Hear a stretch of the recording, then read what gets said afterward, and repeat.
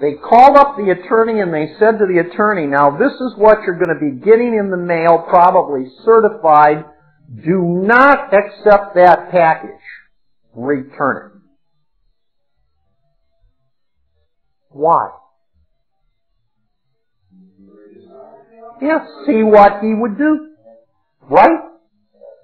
Now let me ask you a question. Where are the originals for the filing? No, they're not in the clerk of courts. They're in that package. If nobody accepts and receives that package, who has a duty to do anything? Nobody. So the public court sits there, dumb, stupid, and happy. They've got no notice of anything publicly from anyone. And the only, only the party that has the originals with the draft to file has a duty, right? And he isn't picking them up in the mail, right? Now, is that a dishonor? Why do you assume that?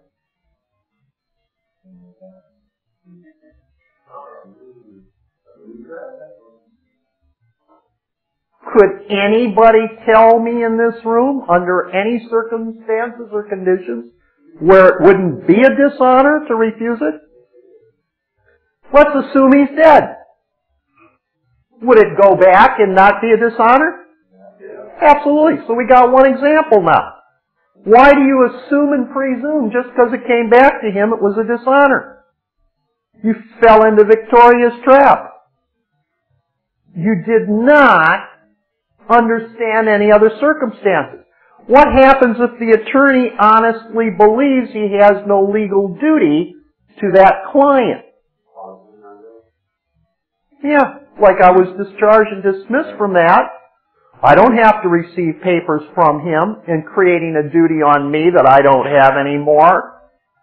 So, Joe, don't get upset with the attorney Certainly, he probably should have taken his mail and opened it and said, oh, gee, well, now I got to decide whether I'm going to do this or not.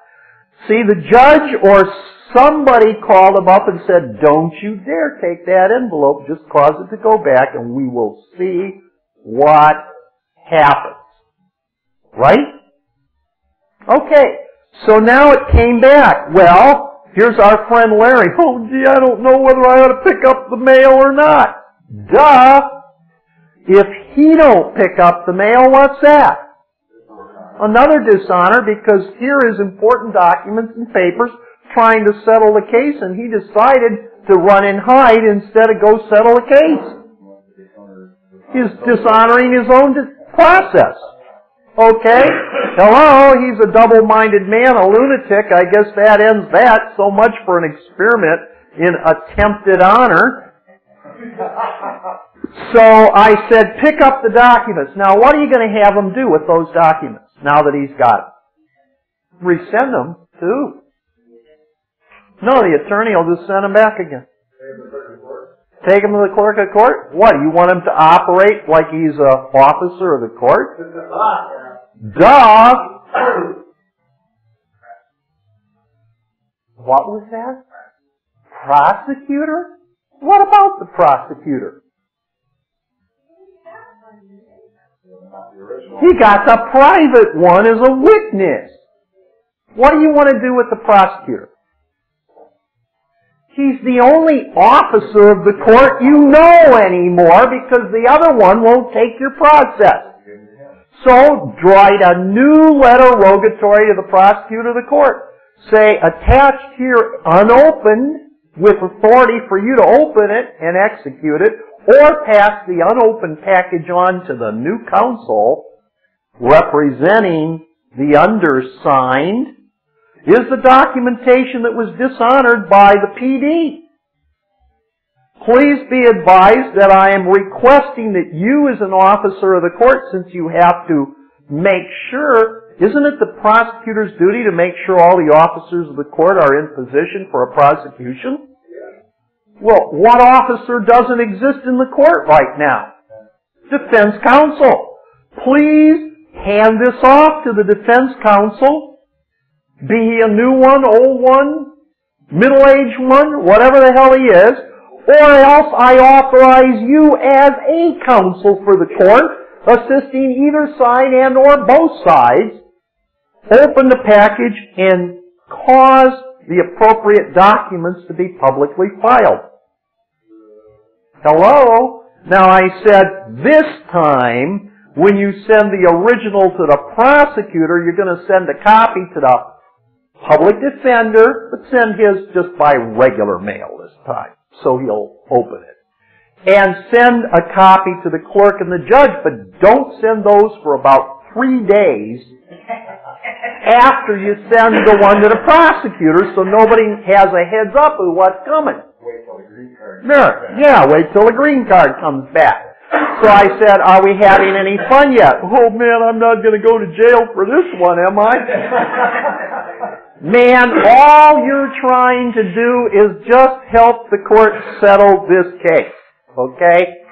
So I, I just wanted to show you that if you don't think using public attorneys for private purpose isn't the way to go, these people are doing everything they can in the book to pull out the stops that you don't try to do that and put them in that position unless you're honorable and you really know what you're doing.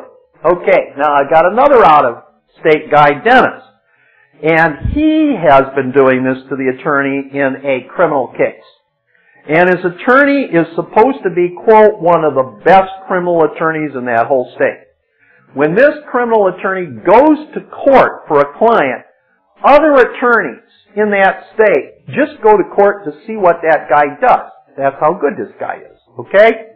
Now Dennis put this guy under a draft to be on the private side. And this attorney is moaning and groaning and doing whatever, and he keeps sending private letters back to Dennis now, telling Dennis what the prosecution is, they're going to get on your case looking at this, the judge is going to do this, everybody's going to do that, what are you crazy? But his attorney, by his private letters, is giving him a heads up as to what he has to be aware of. So this attorney is really pretty cool, okay? Now, the attorney came out about four weeks ago and put a motion into the court to be dismissed from the case just because it seemed like there were differences of opinion with his client. Now, today was the hearing date on that motion. And so Dennis kept saying to begin with, gee, should I go to the hearing? I said, oh, always go to the hearings. You're an aggrieved party. You're a third party. You're interested in knowing what's going on in the court. You're trying to help the court resolve this issue. You would never not want to go to a hearing. Please go to the hearing. Well, if I go, what do you think they're going to do? Well, I think they're going to solicit you because you're the most important person there. You're trying to settle a case. And they're going to ask you a whole sh- uh, shaboom bunch of questions to try to see what the heck you're doing and test you to see if you're off in left field or if you really know what you're doing. Oh, well, and if I go to the hearing, they're probably going to interrogate me. That's exactly right. So have your ducks in a row, have your di- I's dotted, your T's crossed, go through some practice with your friends, do questions that you might expect and questions that you might not even expect to have at the hearing, so you're practice. So he said, okay. So he called me up yesterday, even, got, and I guess it was Saturday, got some information. Yep, he's all primed. Called me this morning before he went to the hearing, just the last minute like pep talk. I said, hey, no problem, you're going to handle it well. And basically, he had the affidavit of negative averment that I don't think the attorney has ever had anything dishonorable to do. I think that we've always been in honor.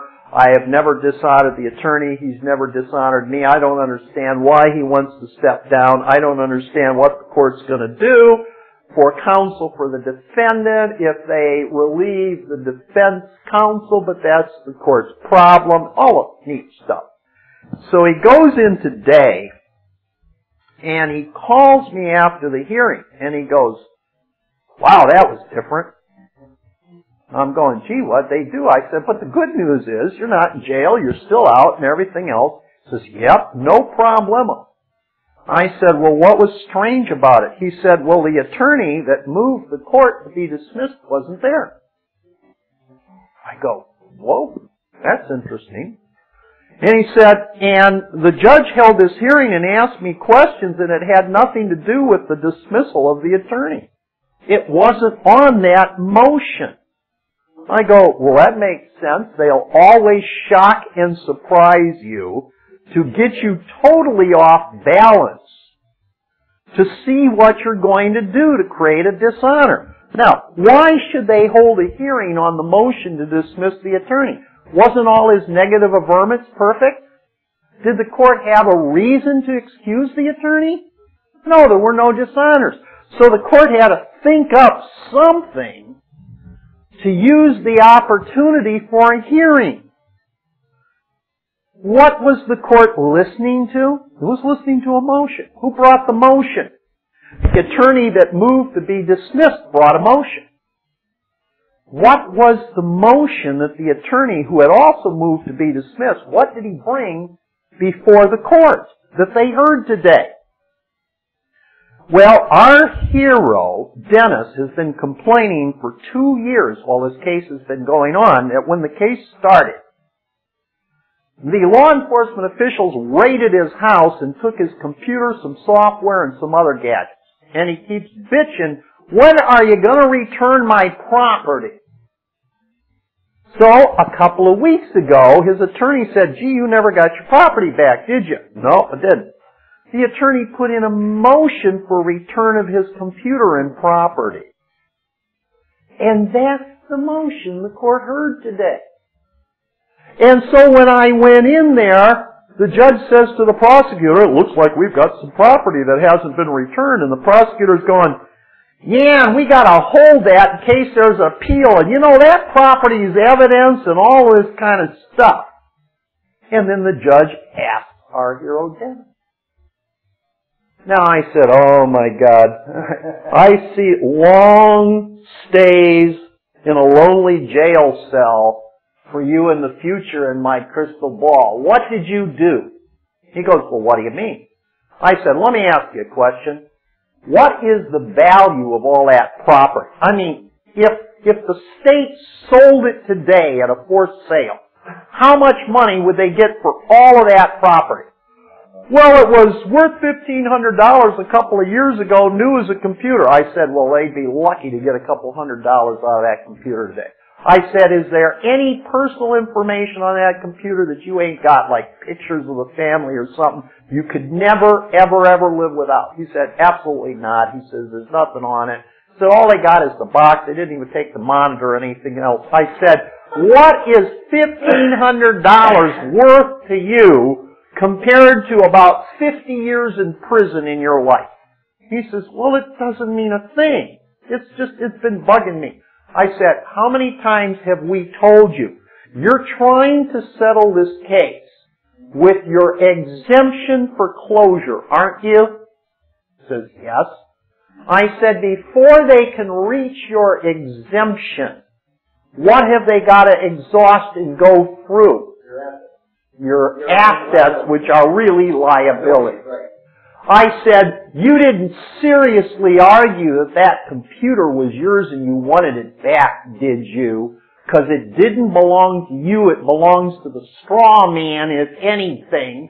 And this whole thing is another test to see if you want to come in and argue about the straw man's possessions.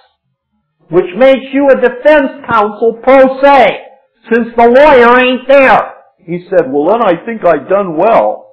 Because the judge just kind of said when I didn't say hardly anything that the judge said that he's denying the motion as being premature. I said, I think you probably escaped that one then.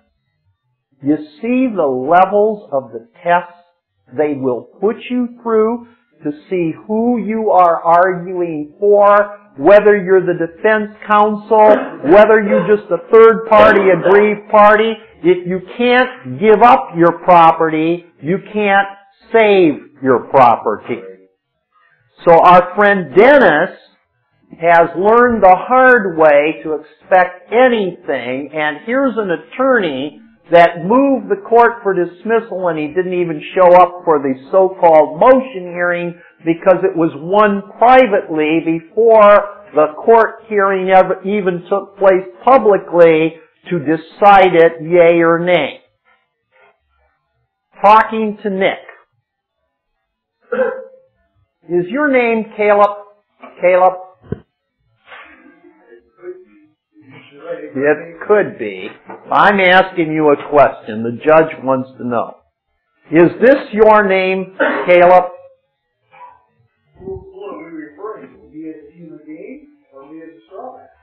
Wrong. Beep. It has, I know you're asking, who is it referring to me, the human being or the straw man? Caleb, we hope that you will learn one more thing tonight. The name doesn't belong to the human being.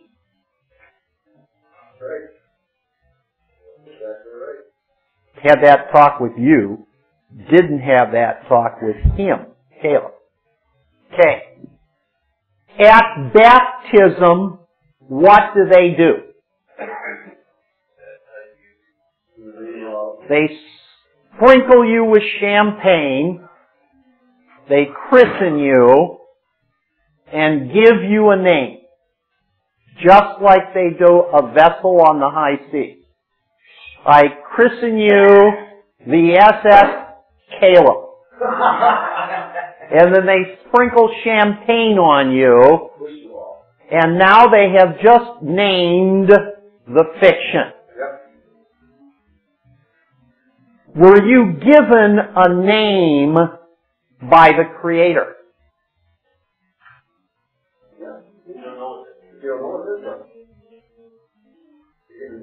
Scripture says, I have known you since you were conceived. The living man is known as Caleb. Caleb is not his name. Caleb is the name of the straw man fiction.